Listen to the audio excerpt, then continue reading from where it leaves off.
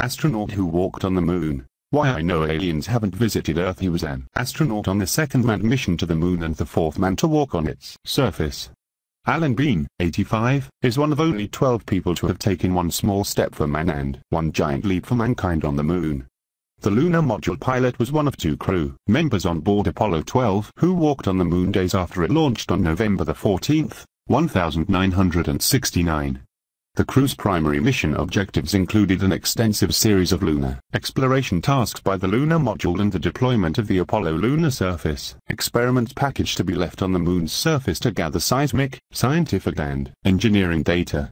MR Bean has logged 1,671 hours and 45 minutes in space, minus 10 hours and 26 minutes of that were spent on the moon and in Earth's orbit. His experiences in space have led MR Bean to develop some interesting theories about the possibility of alien life. I do not believe that anyone from outer space has ever visited the Earth, MR Bean told Newscomo from his home in Houston, Texas. One of reasons I don't believe they have been here is that civilizations that are more advanced are more altruistic and friendly, like Earth, which is better than it used to be, so they would have landed and said we come in peace and we know from our studies you have cancer that kills people, we solved that problem 50 years ago, here's the gadget we put on a person's chest that will cure it, we will show you how to make it. Just like someday, say 1000 years from now, when we can go to another star and see a planet, that's what we would do, because we will know how to cure cancer, cure birth defects, so we would teach them MR doesn't doubt for a second that we are not alone. There's so many billions of stars and these stars have planets around them so there must be statistically many planets around many stars that have formed life, he said. Maybe some of them are like our life was 100,000 years ago, and some of them are like we are now, and there are probably some out there that are at 10,000 years in the future from where we are now. Mark Bean resigned from NASA in 1981 to become an artist. In his paintings he depicts the experiences of astronauts, including himself, who have walked on the moon, it's a small club but it's also one that he draws never-ending inspiration from. Even if I lived to 185 years old I wouldn't run out of ideas of things to paint on this topic, he said. He uses textured lunar tools, sprinkled with bits of Apollo spacecraft and a touch of moon dust to create his masterpieces, which sell for tens or hundreds of thousands of US dollars each via his website. I'm the only person on Earth who can do these paintings, from a first-hand perspective, he said. I work seven days a week painting to this day and Mark Bean still remembers the first time he saw Earthrise from the moon. It was hard to believe, we were 235,189 miles from home, he said. I never heard any astronaut say that he wanted to go to the moon so he would be able to look back and see Earth.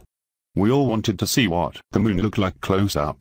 Yet, for most of us, the most memorable sight was not of the moon, but of our beautiful blue and white home, moving majestically around the sun, all alone in infinite black space. Mr. Bean said the earth appeared small. To think everyone I ever knew, saw on television, or at the Super Bowl, was down there on the skin of the beautiful, colorful sphere, he said. It did not seem possible. I thought, there is just not enough room, and folks on the bottom will surely fall if he didn't leave anything personal behind on the moon because, according to him, that would have made him a bad astronaut.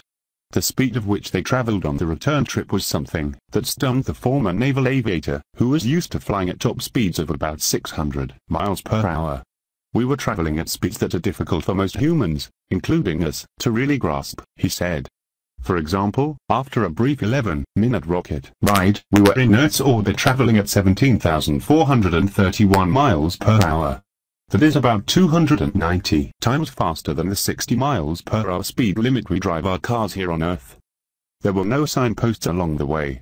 As we sped along, we did not zip past any cities, towns, clouds, other spaceships, or anything else, for that matter.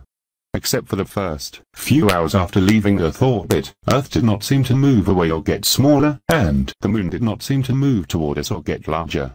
If we waited an hour or so and looked out again, Earth would look smaller, maybe, and the moon would look larger, maybe MR Bean said the main thing he took away from the Apollo 12 mission was that humans can do a lot of amazing things.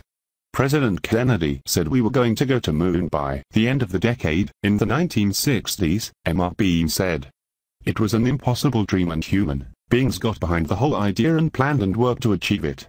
I think the most important thing about us going to the moon back in the 60s was not what we invented but the feeling that throughout the world there are humans that can do a lot more than we imagined we could before. I know humans will go back again someday now when MR Bean looks at the moon at night he fixes his eyes on where he once landed and reflects on how he was a part of something so special. It changed my attitude that we were able to do it, and I thought a lot more of myself and friends, he said. I thought well look what we did.